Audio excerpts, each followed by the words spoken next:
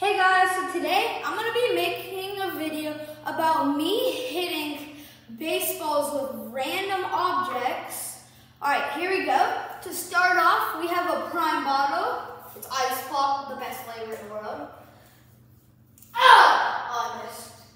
Ah! I hit tanks. All right, next we have a piece of wood right here. Oh god, this should be weird. Ah!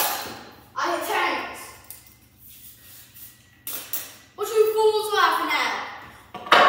What I do? I'm just avoid hitting stuff with random objects. That's like completely normal, right? Alright, now basketball. Ah! ah! That was actually pretty good. Alright, now we have a two and a half pound like barbell weights. Alright, here we go. Do you think I should play on two hands or one? Here we go.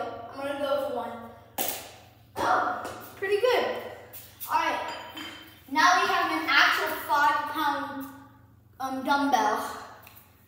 This one should be best because it actually has like a barrel on it. Oh, oh, I missed. Of course. I hit tanks. All right, now we have a regular bat.